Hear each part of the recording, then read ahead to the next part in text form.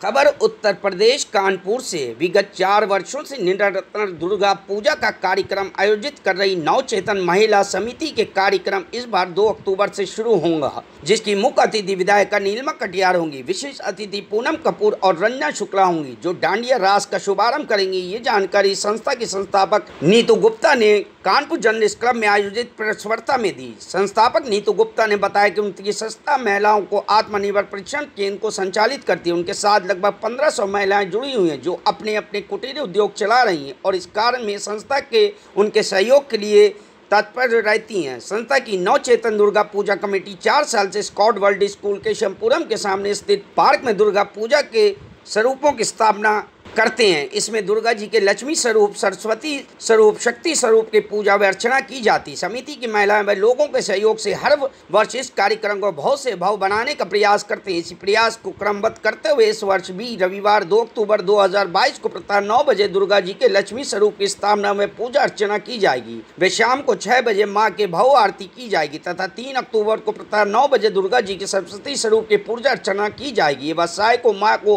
भाव आरती होगी। चार अक्टूबर को दुर्गा जी के शक्ति स्वरूप की पूजा अर्चना व शाम को माँ की आरती व सांस्कृतिक कार्यक्रम होंगे। हमारे प्रशिक्षण केंद्र के बच्चों के द्वारा प्रस्तुत कराया जाएगा तथा पाँच अक्टूबर को कन्या पूजन और भंडारा कराया जाएगा। नवचेतन महिला माँ की प्रतिमा का विसर्जन किया जाएगा। मैं नीतू गुप्ता नवचेतन महिला समिति की संस्थापका।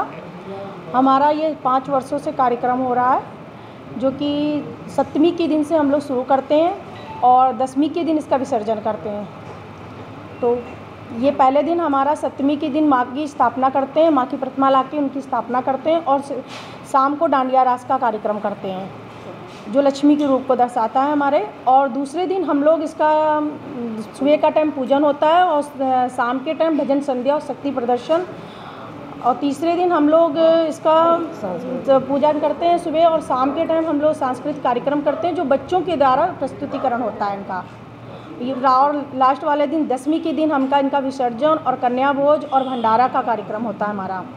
ये हमारा पाँचवा साल का कार्यक्रम है। ये हम लोग सारे सभी लोग मिलकर करते हैं और ये कार्यक्रम खासकर महिलाओं के द्वारा होता है। सबसे बड़ी बात ये है कि हम ये महिलाएँ मिलकर सारे कार्यक्रम करते हैं।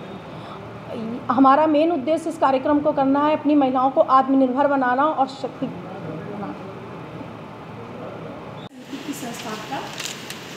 हमारा यहाँ चार दिन का ये कार्यक्रम होता है, जो दो अक्टूबर से स्टार्ट है, जो सप्तमी के दिन से किया जाता है। ये हम पाँचवें साल पे कर रहे हैं, चार साल तक ये हो चुका है। आपकी बार ये पाँचवा साल है। ये हमारा पहले दिन पे हमारा स्थापना होती है सुबह नौ बजे और इसके बाद शाम को सात बजे से आरती और डांडिया रास्ता कार्यक्रम होता है। सेकेंड डे पे हमारा सुबह के टाइम पूजन होगा, जैसे डेली होता है इसके बाद शाम को हमारे भजन संध्या और शक्ति का प्रदर्शन होगा।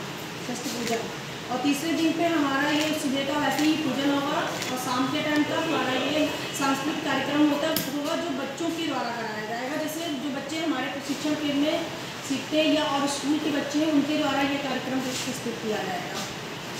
और चौथे दिन हमारा ये विसर्जन और माँ का भंडारा कन्या भोज का bureau report, news hub Bharat.